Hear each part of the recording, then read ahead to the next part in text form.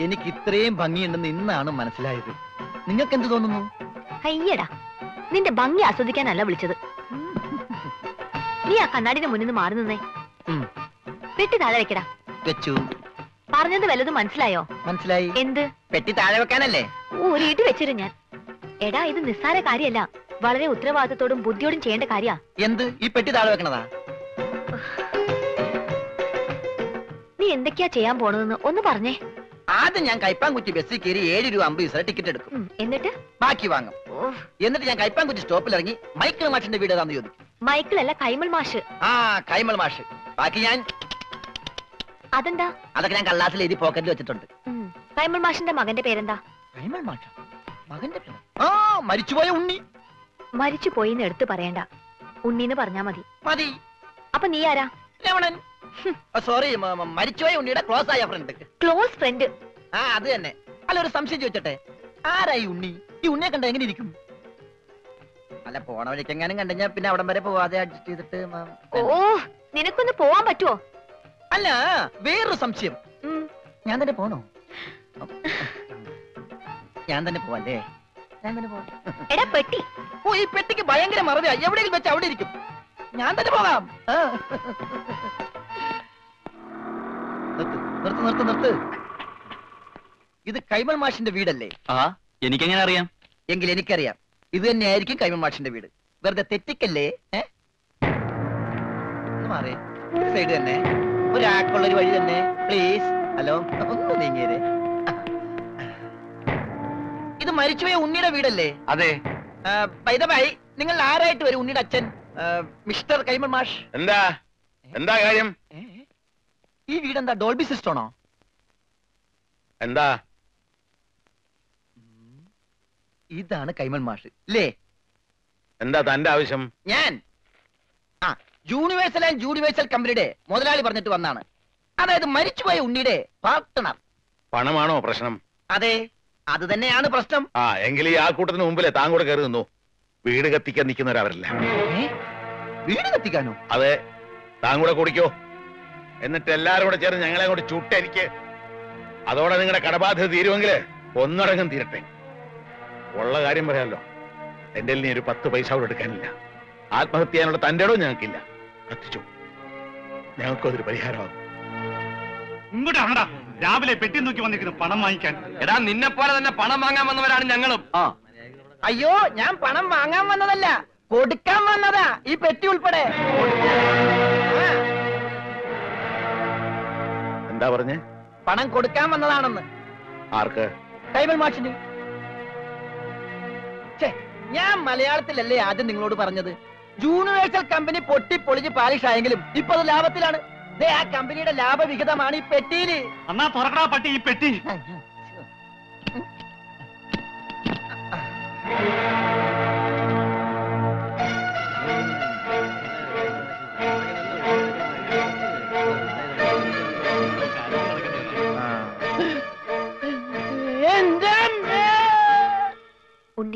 കടവും വീട്ടാനുള്ള പണം അവിടെ എത്തിക്കഴിഞ്ഞു.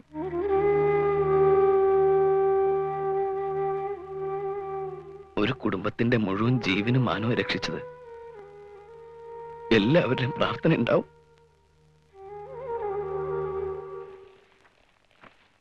നമസ്കാരം. ഈ സാദാ ഈ സദാശിവൻ കൈമളുടെ വീടല്ലേ? എന്താ? ആ സദാശിവൻ കൈമൾ ഒന്ന് കണ്ടേച്ചു പോകാന്ന് കരുതി. ആൾ ഞാനാ. കണ്ടില്ലേ? കണ്ടു. എന്നാ പോയിക്കോ. ആ ഓക്കെ താങ്ക് യു അല്ല ഞാനൊരു കാര്യം അറിയാൻ വന്നതല്ലേ? നീ ഏതാടാ? രമണൻ. ഏത്? ചെങ്ങമ്പുഴയുടെ രമണനോ? ചെങ്ങമ്പുഴയോ? എന്റെ വീട് കോന്നിപ്പുഴ അടുത്തല്ലേ? ആ ഞാൻ ക്ലോസ് ആയപ്പോ ഉണ്ണിയുടെ മരിച്ച ഫ്രണ്ടാ. മരിച്ച ഉണ്ണിയുടെ ക്ലോസ് ആയ ഫ്രണ്ടാ. നിനക്ക് വല്ല അസുഖമുണ്ടോ? ഞങ്ങൾ ഫ്രണ്ടുക്കളാ ആട്ടെ നിനക്കിപ്പോ എന്താ അറിയേണ്ടത്? ആ ഇവിടെ ഒരു പെങ്കൊച്ചുണ്ടായിരുന്നല്ലോ. ഉണ്ണിയുടെ മുറപ്പെണ്ണ്. അവൻ മിസ്റ്റർ സുജാത. ആ എരണം കെട്ടവളുടെ പേര് ഇവിടെ മിണ്ടരുത്. ശരി പേര് പറയുന്നില്ല. ആ കുട്ടി ഒന്ന് കാണാൻ പറ്റും. അവളിവിടെ ഇല്ല. അവൾ ഭർത്താവിന്റെ വീട്ടിലാ. ഭർത്താവാണ് പോലും. ഭർത്താവ്.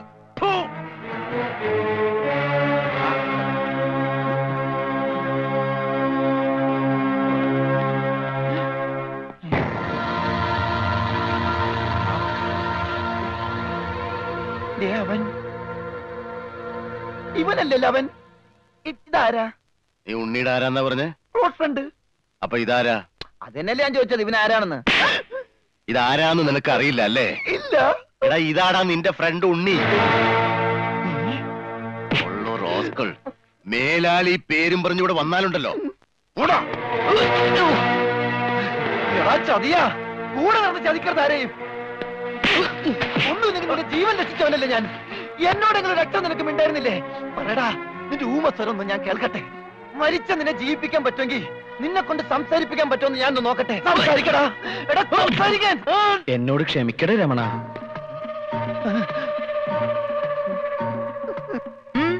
എന്താ ഇവിടെ? കണ്ടുപിടിച്ചു. എന്റെ ബുദ്ധി ഉപയോഗിച്ച് ഞാൻ എല്ലാം കണ്ടുപിടിച്ചു. ഇവൻ മിണ്ടി. ആ അതൊക്കെ അവിടെ നിക്കട്ടെ. എന്താ ഇനിയും ബുദ്ധി ഉപയോഗിച്ച് വല്ലതും കണ്ടുപിടിക്കാനുണ്ടോ? ഉണ്ട്. ബുദ്ധിയുടെ കൂടെ കുറച്ച് സോപ്പ് ഉപയോഗിച്ചോ? തുണി എടുത്തിട്ടിട്ടുണ്ട് അലക്കിക്കോ.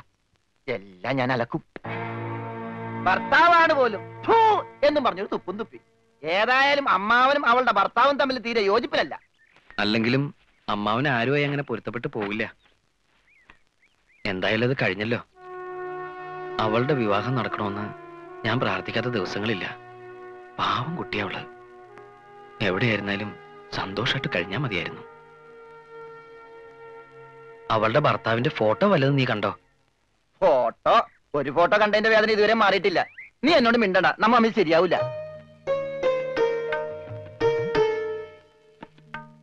ഇപ്പൊ പ്രശ്നങ്ങളൊക്കെ തീർന്നില്ലേ? നാട്ടിലേക്ക് പോയാലേ അവരൊക്കെ നേരിട്ട് കാണാലോ? ഞാൻ ജീവിച്ചിരിക്കുന്നു എന്നറിഞ്ഞ വേറെ ഒരാളെ വിവാഹം ചെയ്തത് എന്നോട് ചെയ്ത് തെറ്റായിട്ടോ ചതിയായിട്ടോ ഒക്കെ അവൾക്ക് തോന്നും. ഏതായാലും ഉടനെ ഞാൻ അങ്ങോട്ടേക്കില്ല. അപ്പൊ ഇവിടെ തന്നെ അങ്ങ് കുറ്റിയടിക്കാൻ തീരുമാനിച്ചോന്ന്. സിഖ് മതവും സ്വീകരിച്ച് തൽക്കാലം ഇവിടെ തന്നെ കൂടിയാലോന്ന് കൂടിയാലോ എന്ന് ആലോചിക്കുക ആഹാ നിനക്ക് അത്രയ്ക്ക് ധൈര്യമുണ്ടോ എങ്കിൽ ഇവളെ നിനക്ക് കെട്ടിച്ചു തരും? സത്യ പറഞ്ഞത്. ഇവൾക്ക് തന്നെ വലിയ ഇഷ്ടാ. നിനക്ക് ഇഷ്ടാണോ അല്ല അത് ഞാൻ ഇഷ്ടാണോ അല്ലേന്ന്? പറ. ഇഷ്ടാണോ? ഇഷ്ടല്ലേ അങ്ങനെ ഇഷ്ടക്കുറവൊന്നുമില്ല അയ്യടാ അപ്പൊ കുട്ടിത്തേവാങ്ങിന്റെ മനസ്സിലിരിപ്പ് ചെറുതൊന്നുമല്ല. ഞാൻ നിങ്ങൾ പറഞ്ഞൊരു തമാശക്ക് കോമഡി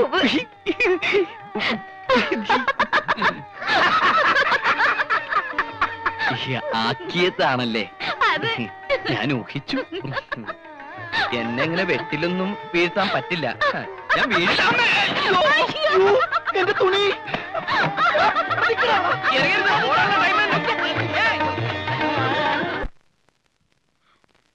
എന്തായാലും അവനായിട്ടുണ്ടാക്കി വെച്ച കടം പോയി കഴിഞ്ഞിട്ടാണെങ്കിലും അവൻ തന്നെ വീട്ടി. പക്ഷെ ഒരു കടം മാത്രം ബാക്കിയായി.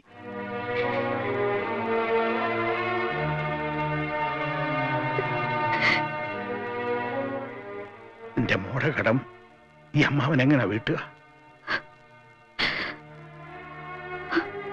നിനക്കും വേറൊരു ജീവിതം വേണമല്ലോ. കഴുത്തിലൊരു ചരട് കെട്ടിയില്ലെന്നല്ലേ ഉള്ളൂ. കുട്ടിക്കാലം മുതൽ മനസ്സിൽ കൊണ്ട് നടന്നല്ലേ ഒക്കെ മറക്കണം. മറന്നേ പറ്റൂ. ശ്രമിക്കാഞ്ഞിട്ടല്ല കഴിയുന്നില്ല അമ്മാവ. എന്റെ ജീവൻ പോയാലും മനസ്സിൽ നോണ്ടിട്ട് പോവില്ല. എന്നാലും സന്തോഷമുള്ളൊരു ജീവിതം വേണ്ട എന്റെ മോക്ക്? അമ്മവാ ഉണ്ണേട്ടന്റെ എന്ന് പറയാനുള്ള അവകാശങ്ങൾ എനിക്ക് തന്നൂടെ. അതിനേക്കാൾ വലിയ സന്തോഷം ഒരു ജീവിതത്തിൽ എനിക്ക് കിട്ടില്ല.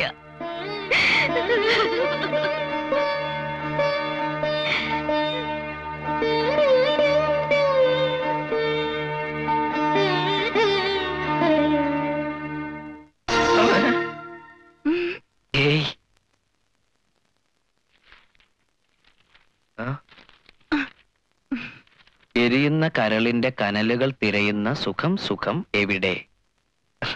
കൊള്ളാലോ ഇതാരെ കുറിച്ചാ? എന്നെ കുറിച്ചോ? നിങ്ങൾക്കൊരു കവിത എഴുതാനെങ്കിലും എന്നെ കൊണ്ട് പ്രയോജനം ഉണ്ടായല്ലോ. എന്താ ഇങ്ങനെ ഒരു അഭ്യാസം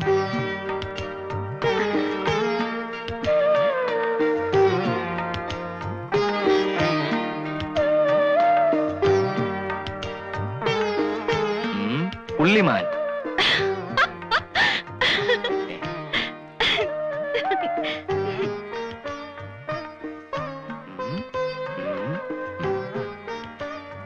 കൊരങ്ങായിരിക്കൂ. എന്നെ കൊരങ്ങെന്ന് വിളിക്കൂ. ഏയ്.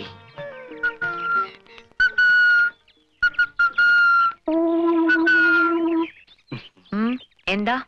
ഞാനൊരു കൂട്ടം കാണിക്കട്ടെ. എന്താന്ന് പറയാമോ? കാണിക്കേ. ദേ നിനക്ക് കുറച്ച് കൂടുന്നുണ്ട്.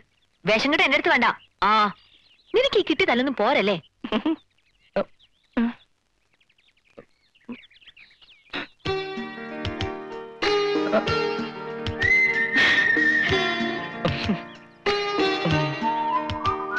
ഇതെന്ത് പണ്ടാറാണാവോ?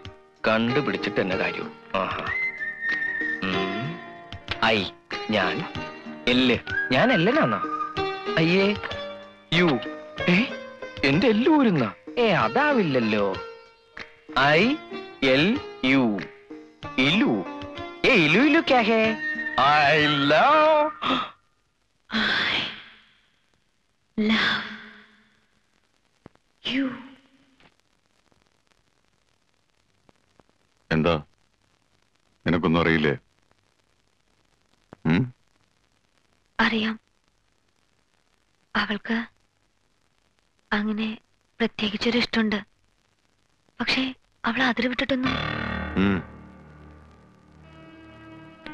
എനിക്കറിയാം എനിക്കറിയാം എന്റെ കുട്ടിയെ.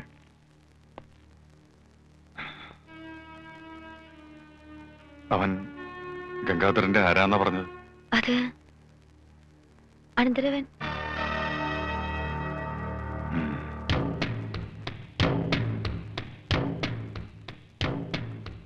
തന്റെ അനന്തരവൻ എത്ര കാലമായിട്ട് തന്റെ കൂടെ ഉണ്ട് ഒരു മുപ്പത് വർഷമായിട്ട് എന്റെ കൂടെ ഉണ്ട് അപ്പോ അവൻ എത്ര വയസ്സായി? ഒരു ഇരുപത്തിയേഴ് ഇരുപത്തെട്ട് അതി കൂടില്ല കണക്കുകളൊന്നും ശരിയാകുന്നില്ല ഗംഗാര പേടിച്ചിട്ടാ. പണ്ട് എനിക്ക് അങ്ങനെയാ പേടിച്ചെനിക്ക് കണക്കേറ്റി പോകും പ്രായത്തിന്റെ കാര്യത്തിൽ നമ്മൾ തമ്മിൽ കണക്ക് പറയണ സാബ് സാബിന് എന്ത് മതിപ്പ് തോന്നുന്നു അതിൽ ഉറപ്പിക്കാം. പോരെ.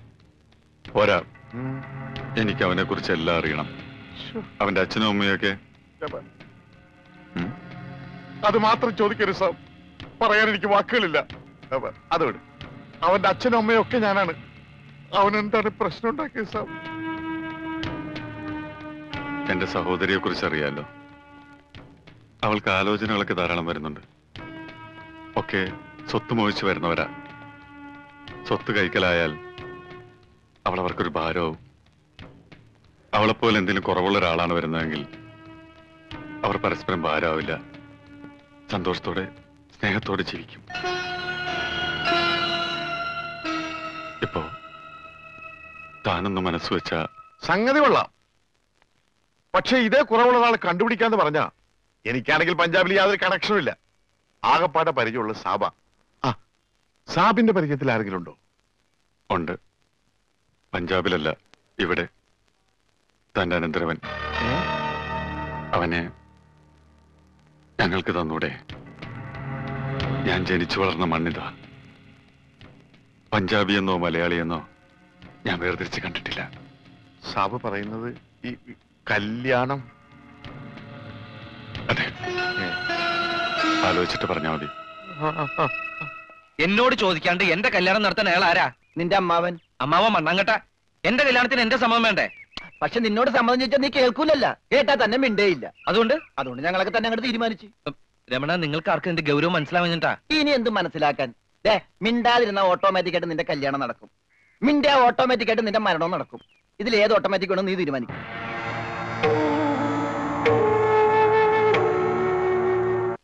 ആലോചിക്കാനൊന്നുമില്ല. ഇത് ശരിയാവില്ല. ഈ ബന്ധം നമുക്ക് ചേരില്ല. എവിടെ നിന്നോ വലിഞ്ഞു കയറി വന്നൊരുത്തൻ ഛേ, അവനെയാണ് ഇത്രയും കാലം കാത്തിരുന്ന് പൊന്നാര പെങ്ങൾക്ക് കണ്ടുപിടിച്ചത്. അവളെ മനസ്സിലാക്കാനും സ്നേഹിക്കാനും കഴിയുന്ന ഒരാൾ. അതിനപ്പുറത്തേക്കൊന്നും ഞാൻ ചിന്തിക്കുന്നില്ല. സ്നേഹിച്ചാൽ മാത്രം മതിയോ? ജീവിക്കട്ടെ. അവൾക്കോ സംസാരിക്കാൻ കഴിയില്ല. കെട്ടുന്നവനും സംസാരിക്കാൻ കഴിയില്ലെങ്കിൽ അവരെങ്ങനെ ജീവിക്കും? എന്റെ ഈ നാവില്ലേ അത് അവർക്ക് വേണ്ടി സംസാരിക്കും. എന്റെ ഈ കാതുകളില്ലേ അത് അവർക്ക് വേണ്ടി കേൾക്കും. നിനക്ക്. എടാ ഈ വീട്ടിൽ ആരെങ്കിലും ഇവരെ തെറ്റ് ചെയ്താൽ നീയാണ് അവരെ ശിക്ഷിക്കുന്നത്. ഒരക്ഷരം പോലും എതിര് പറയാതെ ഞാനും അത് അനുസരിച്ചിട്ടുണ്ട്. ഇപ്പൊ തെറ്റ് ചെയ്യാൻ പോകുന്നത് നീയാണ്. നീ അനുഭവിക്കും. ഈ മനീന്ദ്ര സിംഗ് ആണ് പറയുന്നത്. നീ ഒരുപാട് അനുഭവിക്കും. അനുഭവിച്ചോളാം. എതിർക്കില്ല. ഈ സ്വത്ത് മുഴുവൻ ചാച്ചാജിയുടേതാണ്. ഒക്കെ തിരിച്ചേൽപ്പിക്കാം. ഇവിടെ നിന്ന് ഇറങ്ങിത്തരാം. ഈ പന്തലിൽ വെച്ച് അവളുടെ കല്യാണം നടത്താനുള്ള സാവകാശം മാത്രം കിട്ടിയാൽ മതി എനിക്ക്. നീ എന്താ പറഞ്ഞത്? നീ നോക്കി നടത്തിയതെല്ലാം നീയായിട്ട് വലുതാക്കിയെല്ലാം ഇട്ടിട്ട് പോവാന്നോ? ഈ സ്വത്തുക്കളെല്ലാം കിട്ടിയിട്ട് കിഴവൻ എന്തിനാടാ? നിന്നെക്കാൾ വലിയൊരു സ്വത്ത് എനിക്ക് വേറെ ഏതാ ഉള്ളത്?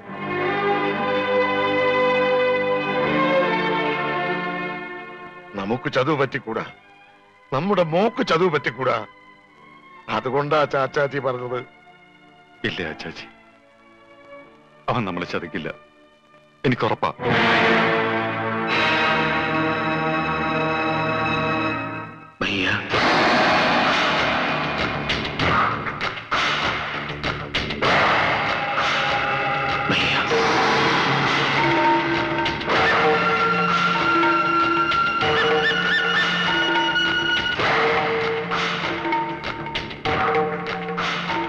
എന്ന് വിളിക്കാൻ യോഗ്യത എനിക്കില്ല.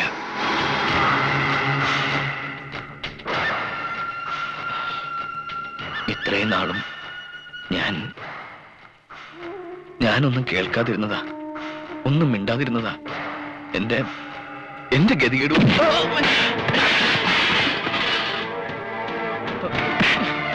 ചാച്ചാജി ഞാൻ എന്റെ നിവൃത്തികേടുണ്ട് ഞാൻ. അതേടാ. നിവൃത്തികേട് കൊണ്ട് ആരും ചെയ്യുന്ന പണിയാണിത് ആൾമാറാട്ടം മോഷണം അങ്ങനെ പലതും പക്ഷേ നിനക്ക് സ്ഥലം തെറ്റിപ്പോയി ഞങ്ങളോട് കളിച്ചാലുള്ള ഫലത്തെ തറിയോ നിനക്ക്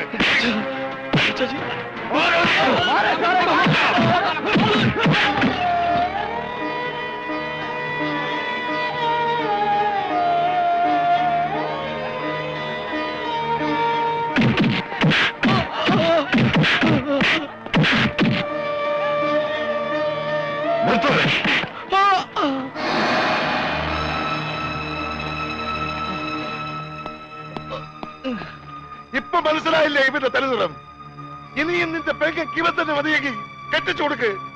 കെട്ടിച്ചു കൊടുക്കടാ.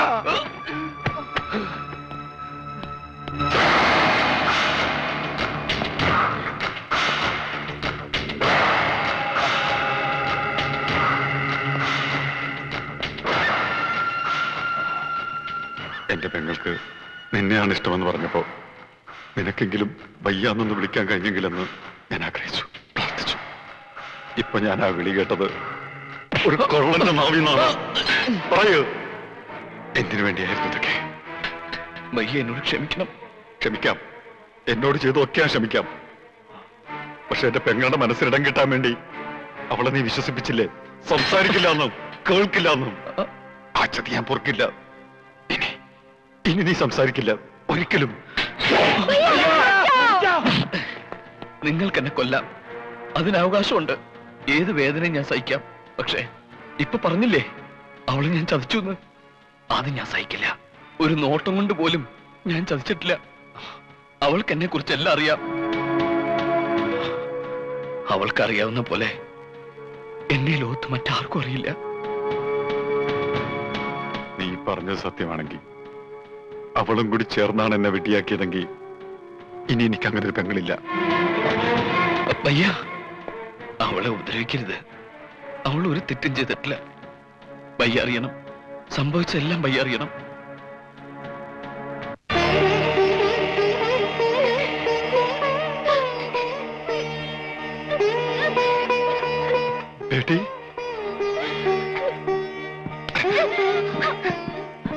എന്താ ഇത്?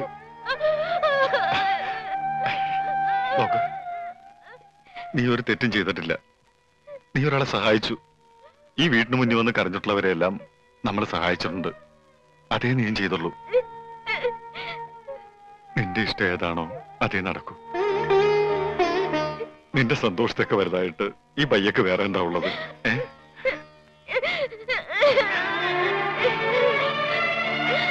അവനെല്ലാം ഞങ്ങളോട് പറഞ്ഞു. എല്ലാം അവൻ നല്ലവനാണ് സ്നേഹമുള്ളവനാണ്. ഞങ്ങൾക്ക് ബോധ്യമായി.